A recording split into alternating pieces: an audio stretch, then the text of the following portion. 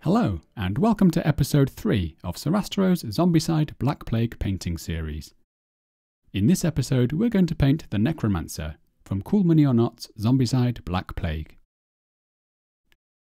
The Necromancer is a dynamic and somewhat busy miniature, with flowing purple robes and lots of expressive details for us to enjoy painting. It's worth mentioning now that because I want a cleaner, more controlled approach to the colours, I won't be using Quickshade for this figure or for the heroes. Let's take a look at the painting stages. We're going to begin by priming the Necromancer with a black primer. We'll then apply the base colours, and I'll be sticking fairly closely to the illustration in the manual, except for one or two small deviations. Although I'm not using quick shade, I would still like to apply some black and brown shade to select parts of the miniature. We'll then spend a fair bit of time highlighting the figure, and our finishing touches will include painting the eyes, as well as one or two decorative elements such as the horns and the gemstone on the belt. Let's jump straight in with the base colours.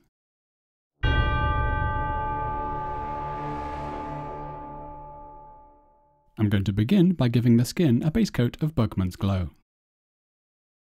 As always, I like to use an old brush to collect some paint and thin it down with a little water.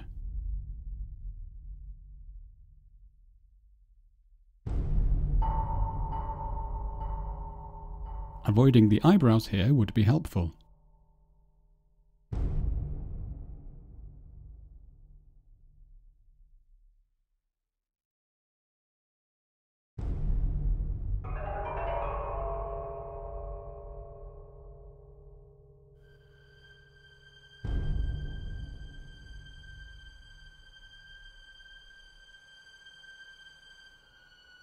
We should also take care not to miss any of the small gaps between the clothing, as well as the small patch of exposed thigh on the left leg. A second layer of this should give us a nice solid finish.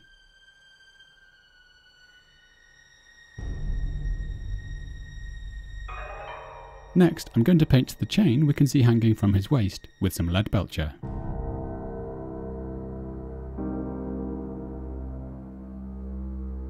We needn't be too neat here, as we will of course be painting the surrounding area later on.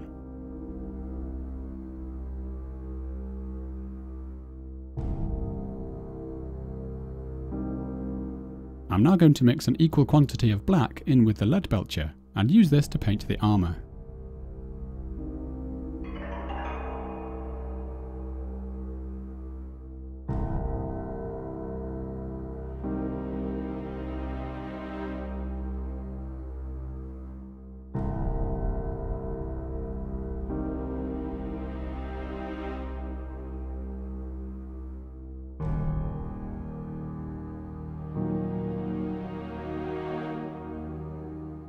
I'm also using this to paint the metallic adornment we can see on his beard.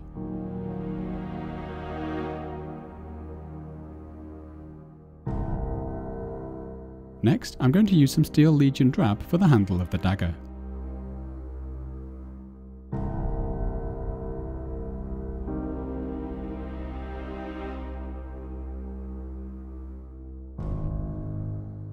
I'm also going to use this to provide an undercoat for several areas that I will be painting a pale beige in a moment. These areas include the skulls, and I would avoid the eye sockets when doing this, the rope around the bottles and his waist, and the stitches on the robe. I'm doing this because it's very difficult to achieve good coverage using a pale beige over black. Now, when I apply this screaming skull, it will be much easier to achieve good coverage. We still need to apply a couple of layers, but without the brown undercoat we would have needed a lot more.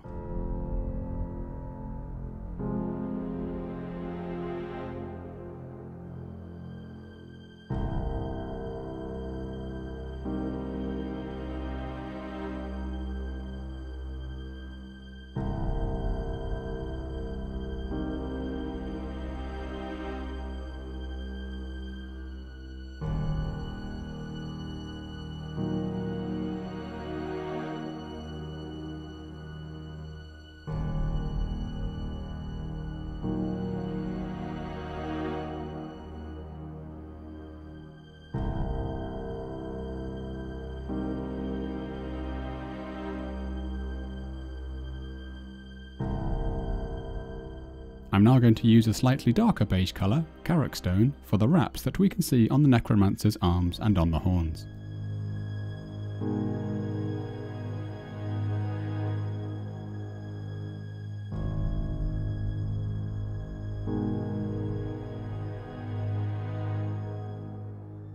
These too are areas that perhaps could have benefited from the brown undercoat.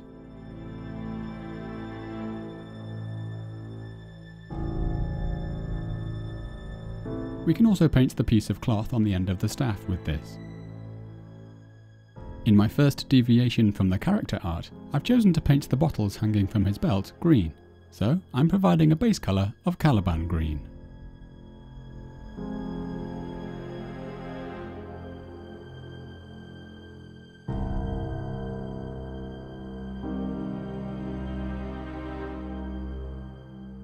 And here I'm using some Steel Legion drab for the corks.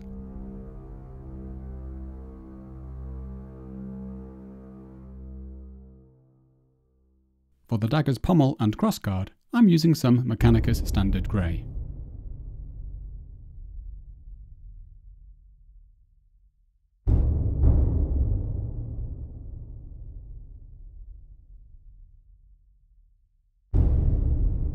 I'm now going to use some Rhinox hide for the leather belt, the handle of the staff, and the short leather strap we can see on the chest.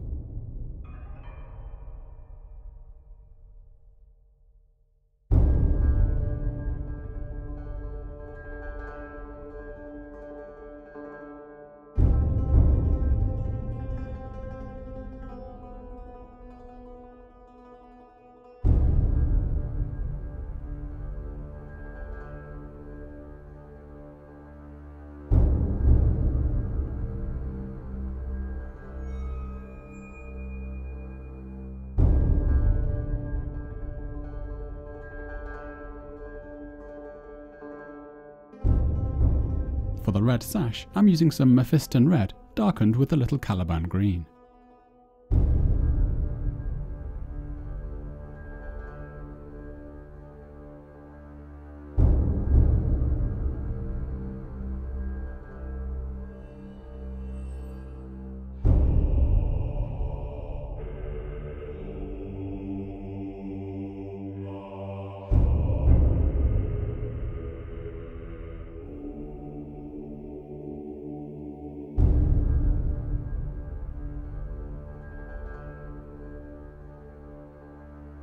I'm now going to paint the beard using Vallejo's German Grey. This can be applied a bit like a highlight in that we don't have to get into every nook and recess, since the beard is basically black.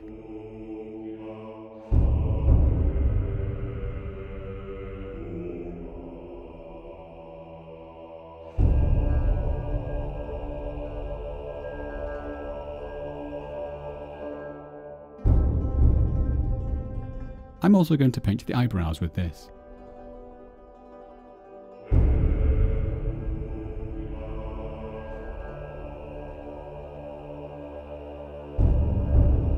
And I'm going to return to the Screaming Skull to paint some additional details, which means the necklace around the neck, the earrings, as well as the bone being worn through the nose.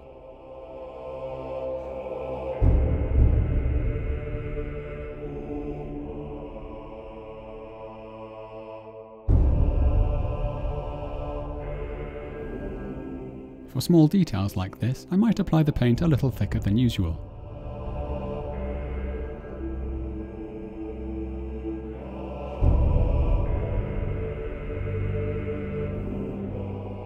I'm also going to pick out the upper row of teeth with this.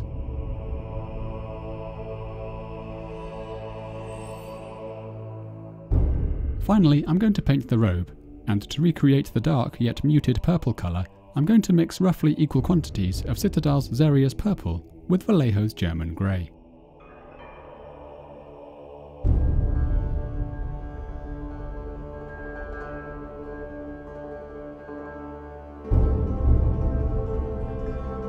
This gives very nice coverage and will only need one or two layers.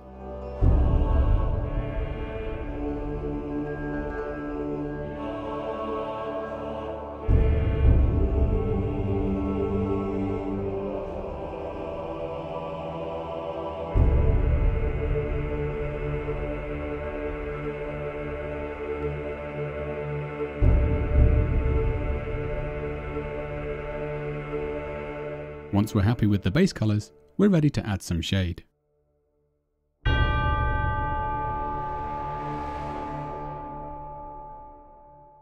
I'm going to apply two different colours of shade, starting with some neat Nuln Oil, which I'm going to apply only to the chains.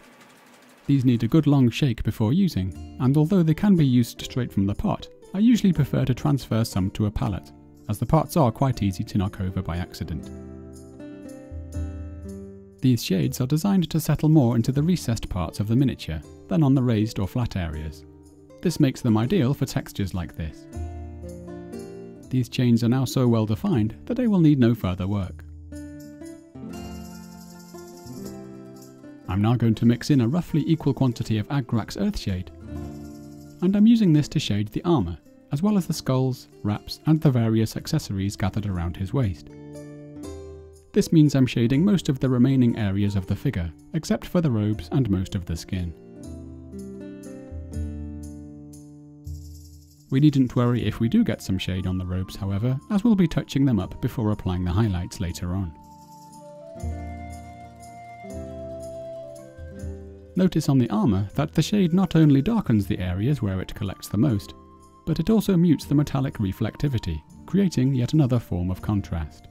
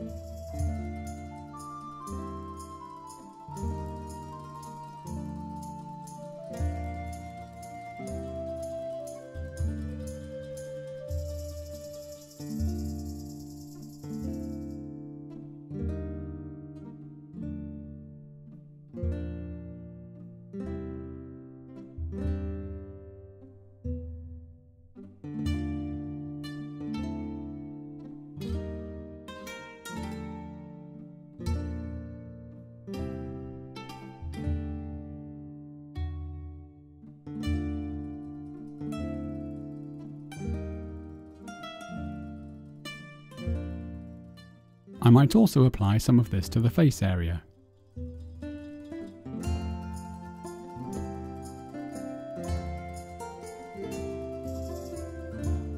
Once that's dry, I might apply a second layer of this to the darker parts of the armour to strengthen the sense of depth and contrast. I'm taking care to avoid some of the highlights that we can now see presenting themselves.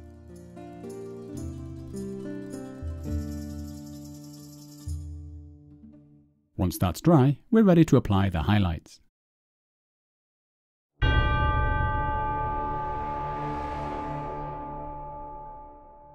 I'm going to begin by highlighting the skin. For this, I will be applying two levels of highlight, using Cadian Flesh Tone, followed by the lighter Kislev Flesh. However, I've also chosen to mix a small amount of Nurgling Green into each colour, to give the Necromancer's skin a slightly more pallid and sickly tone. So here's my Cadian flesh tone, to which I'm now adding just a small dab of Nurgling green.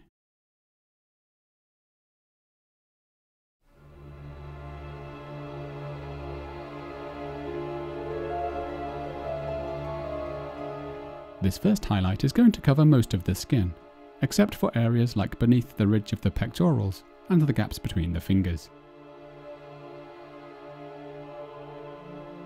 As with the Abomination episode, you can find links to some lighting reference shots in the video description below, which you might find useful when deciding where to place your highlights.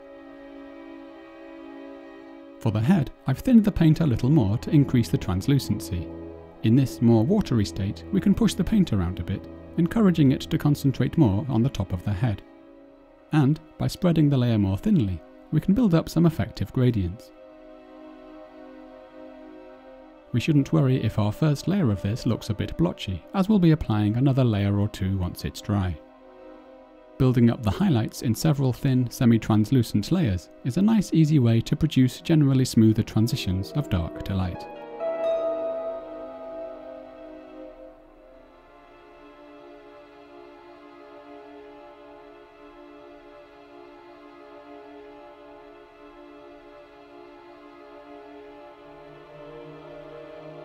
As well as maxing out the highlight on the top of the head, we also need to ensure we hit the top of the nose, the cheekbones, and the tops of the ears.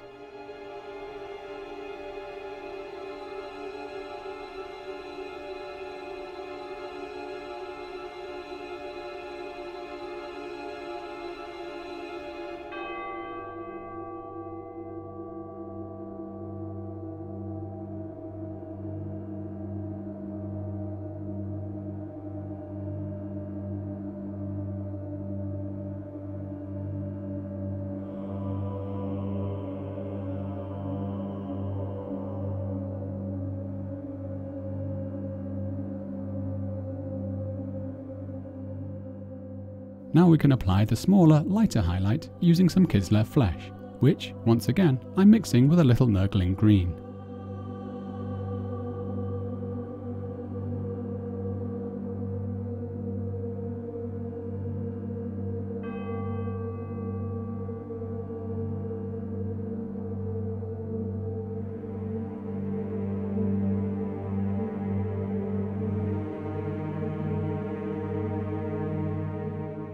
Here you can see how thin I sometimes like to make the paint when highlighting larger, flatter areas, such as the head. You can also see how drawing the brush upwards helps encourage the paint to collect more at the top of the head, where we want the brightest highlight to be, whilst also providing smoother gradients from the darker neck area.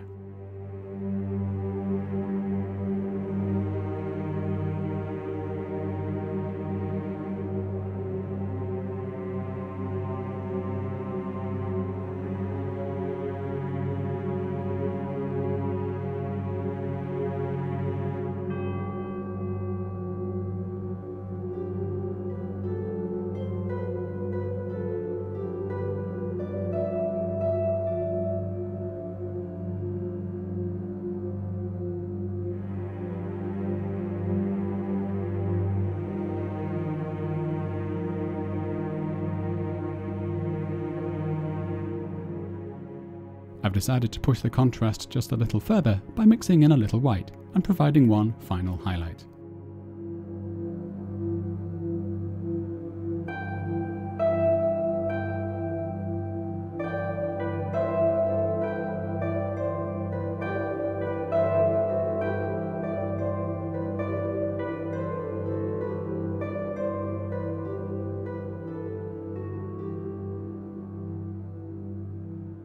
Once the skin is complete, we can begin highlighting the remaining areas, and I'm starting with the red sash.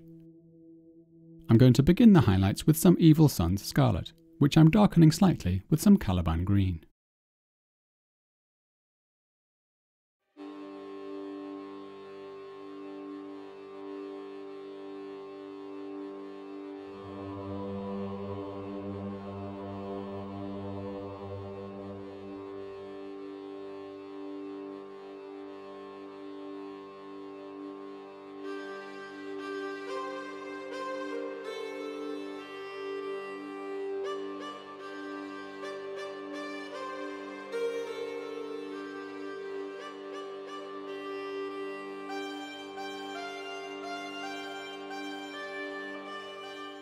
I'm then going to use some pure Evil Sunz Scarlet.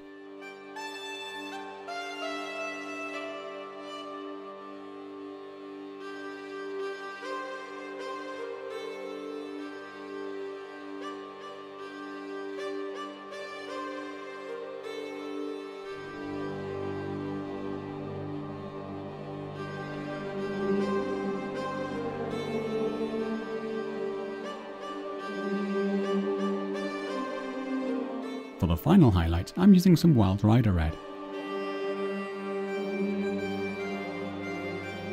This wants to be used sparingly, just for the brightest points of light.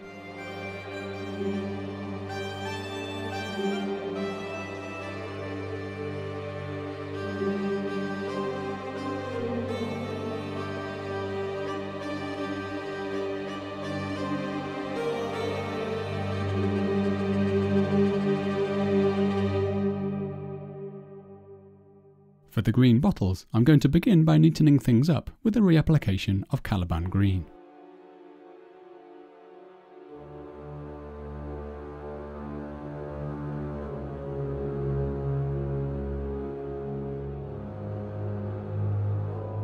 I'm then going to mix in a roughly equal quantity of moot green for the next layer of highlight.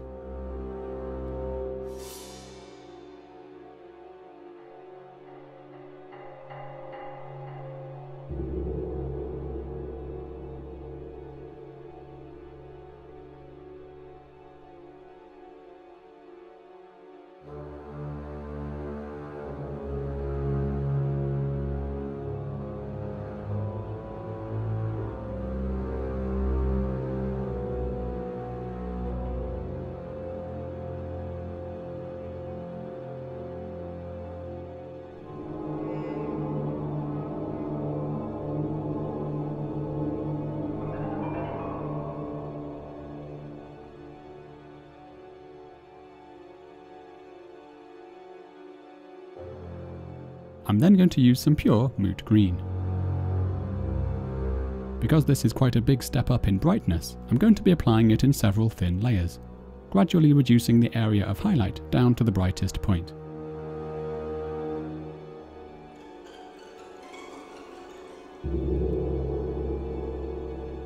When the paint is quite thin like this, it doesn't take long to dry, and we can quite quickly build up a smooth high contrast gradation without having to mix lots of different shades.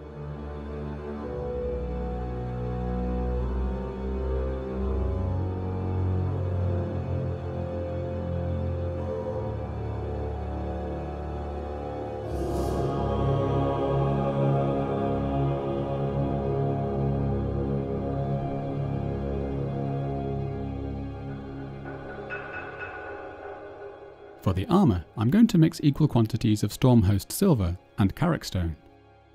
You could use pure silver here if you wish, although I quite like the subtle tarnished look that the addition of the beige produces, and I find the paint a little easier to handle than when highlighting with a pure metallic colour. As the armour wants to be predominantly dark, I'm applying the highlights quite sparingly, simply enhancing the naturally occurring highlights we can already see being produced by the semi-metallic finish.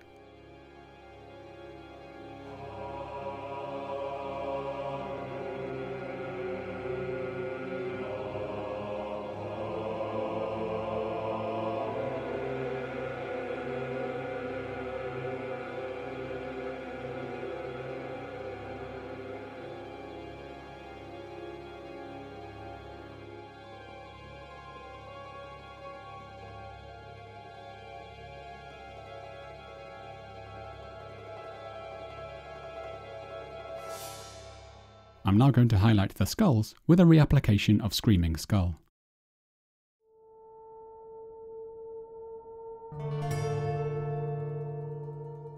The transitions here don't need to be especially smooth, since we might consider these skulls to be pretty old and weathered looking.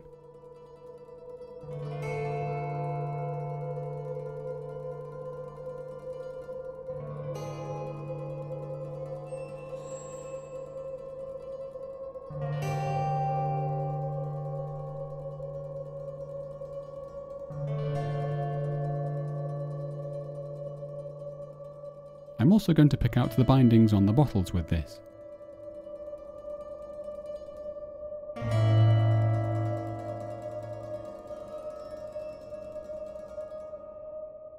I've chosen to add a few brighter highlights to the skulls by adding some additional white in one or two stages.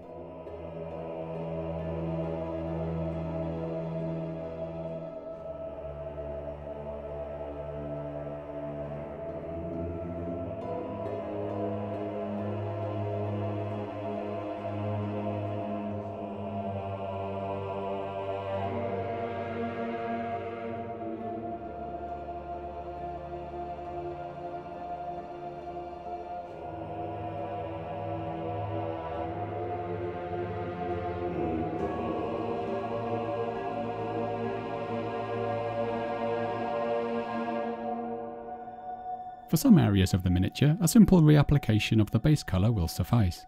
So, for the wraps, I'm just reapplying a little Karak Stone.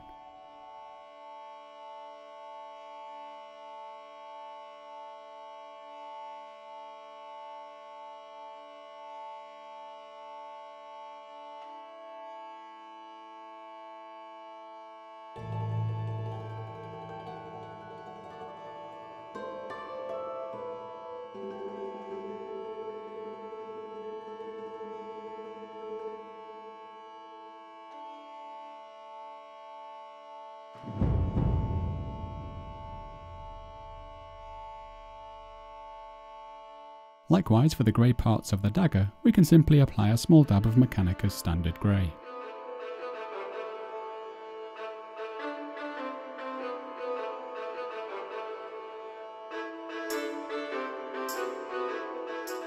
For the dark brown areas, such as the belt and the staff, I'm mixing roughly equal measures of the original Rhinox hide with some Mournfang brown.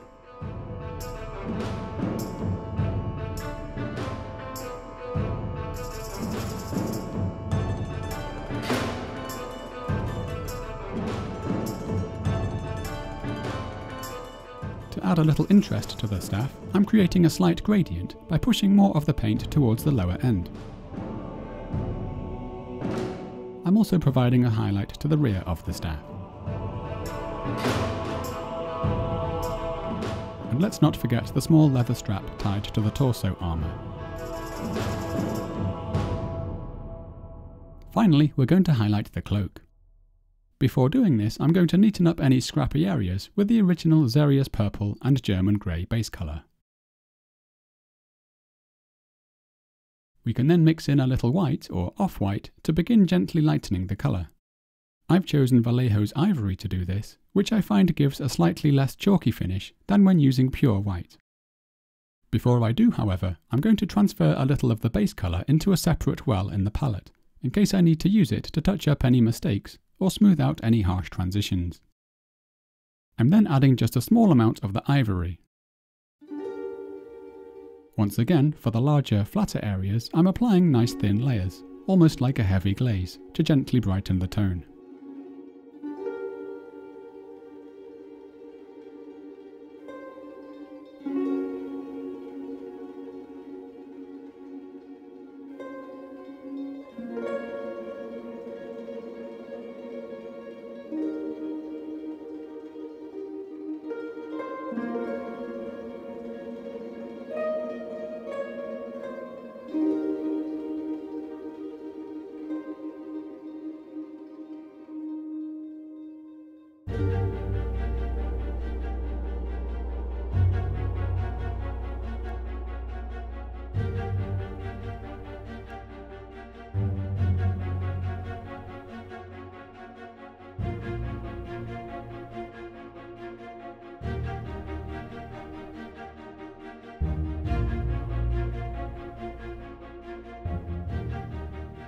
We can carry on lightening the tone in a couple more stages, reworking the same patches of highlight, but in slightly reducing areas.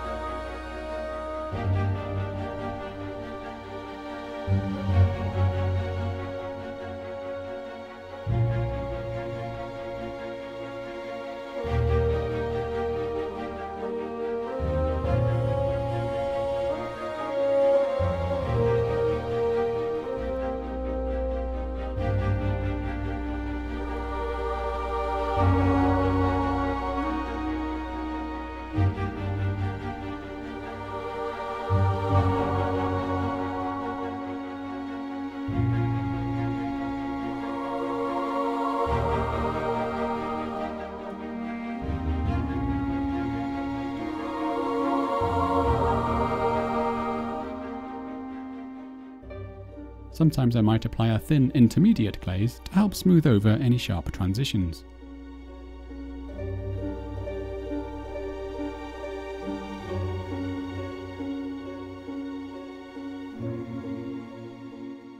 Here I'm mixing the tone for the brightest highlight.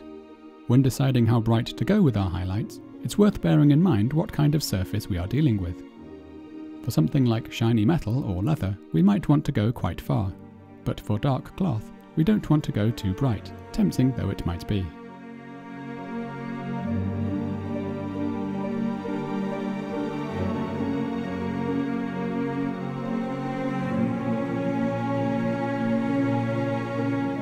We could then finish the robes off with a dark glaze of either black or black with a little dark purple mixed in. This can be brushed into the recesses in a couple of layers to give the contrast a subtle boost.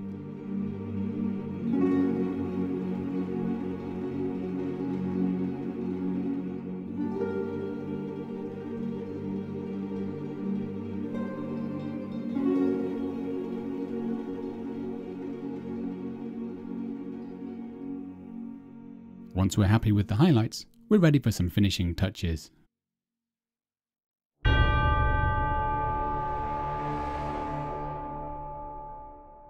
I'm going to begin by painting the eyes. Thankfully, the necromancer appears not to have any iris or pupils, so all we need to do here is provide a small dab of off-white for each eye. For that, I'm once again using Vallejo's Ivory. If things go wrong here, we can either wash the mistake away quickly with a wet brush, or simply paint over the area with some black and start over. Next, I'm going to paint the decorative horns. Although these could be left black, I've chosen to give them a more eye-catching gradient using the following colours. And I'll be starting by mixing some black with some Steel Legion drab. I'm then going to use this to colour the lower two thirds or so of each horn. I'm then following this with some pure Steel Legion drab for the lower half. It's quite okay for us to produce a slightly grainy or striated texture whilst doing this.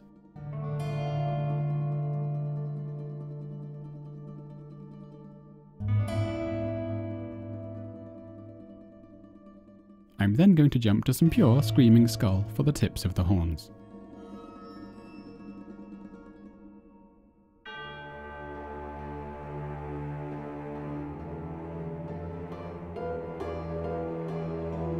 Another optional decorative touch might be to paint the stone or jewel on the belt. For this, I've chosen to try Citadel's technical paint, Spiritstone Red. This is one of a set of glossy semi-translucent paints designed to be painted over a metallic base colour, in this case Skullcrusher Brass. So we begin by painting on the metallic brass colour.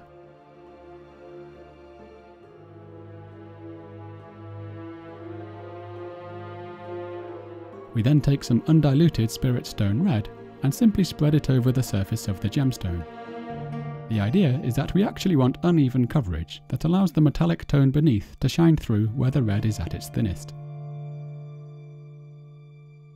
Even if the application of this is not quite perfect, the finished result is still quite eye-catching. Next, I'm going to paint the red markings on the face and the ram skull, which we can presume to be dried blood. For this, I'm going to use some Mephiston red mixed with just a small amount of Caliban green and some Xereus purple. Here I'm adding the green, and now the purple. For the circle on the forehead, it's probably best to start small, and enlarge it later if need be.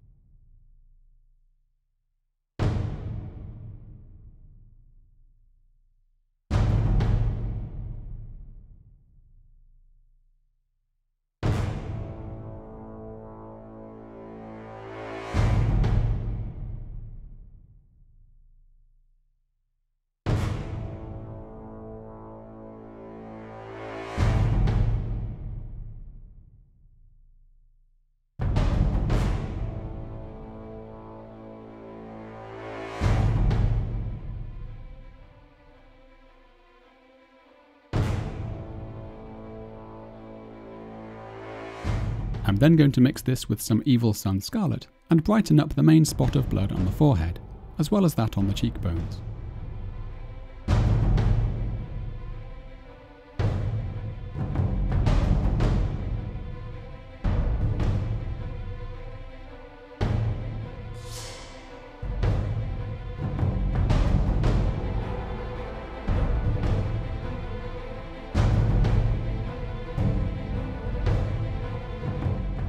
Next, I'll be painting the base using the same steps detailed in the previous episodes.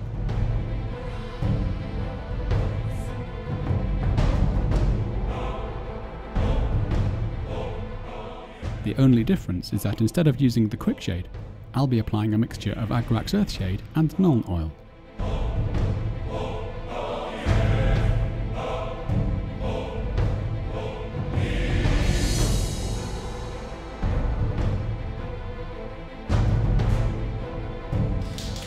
Once we've applied a protective matte spray, we can then take a little gloss varnish, which I usually thin with a roughly equal amount of water, and use this to provide a gloss coat to the green bottles, as well as the gemstone.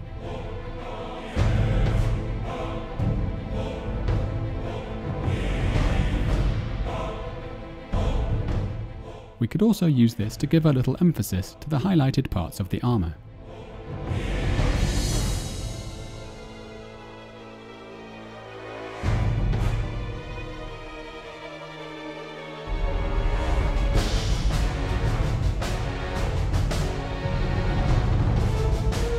And we can also apply this to the horns. And this completes the Necromancer. Thank you so much for watching. I hope you have enjoyed the video. With the Necromancer complete, I will soon be turning my attention to the base set heroes. As usual, my very special thanks go out to the legion of generous patrons who are funding this work. These videos simply wouldn't be possible without their support. Join me again soon as we continue painting miniatures from Zombicide Black Plague. Happy painting!